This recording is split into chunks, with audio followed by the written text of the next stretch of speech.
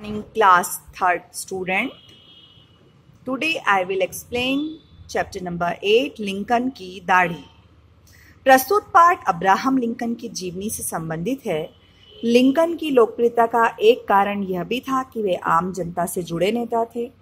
यह पाठ हमें संदेश देता है कि चाहे हम कितने ही बड़े क्यों न बन जाएँ, हमें मानवीय मूल्यों को नहीं छोड़ना चाहिए। तथा सुझाव देने वाले की कद्र हमेशा करना चाहिए, क्योंकि यही गुण हमें महान बनाते हैं। अमेरिका के लोग अब्राहम लिंकन को अपने पसंदीदा नेता के रूप में बहुत चाहते थे। लोगों के घरों में उनकी तस्वीरें टंगी रहती थीं। अब्राहम लिंकन एक दुबले पतरे चेहरे की पर आकर्षक व्यक्तित्व के धनी व्यक्ति थे और उनके चेहरे पर दाढ़ी ज़्यादा सुंदर और आकर्षक लगेगी, ऐसा सोचकर एक छोटी बच्ची जो न्यूयॉर्क शहर के वेस्टफील्ड में रहती थी, उस बच्ची का नाम था ग्रेस ब्रिडल।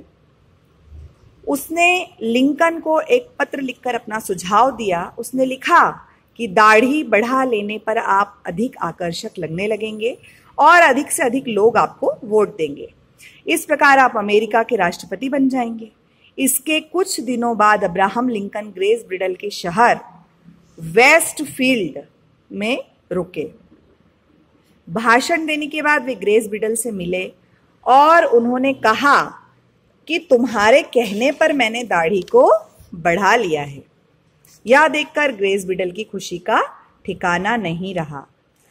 बच्चों, अब्राहम लिंकन नम्र स्वभाव के व्यक्ति थे और शायद उनकी प्रसिद्धि का यही एक बहुत बड़ा कारण था।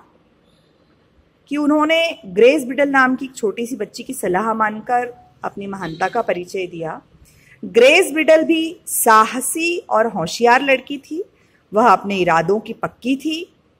उसने लिंकन को पत्र लिखकर सुझाव देने का दृढ़ निश्चय किया और उसे पूरा भी कर दिखाया। तो students read chapter number eight Lincoln की दाढ़ी।